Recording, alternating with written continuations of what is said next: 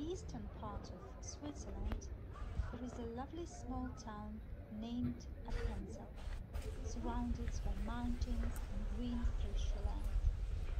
I was fascinated by the 500-year-old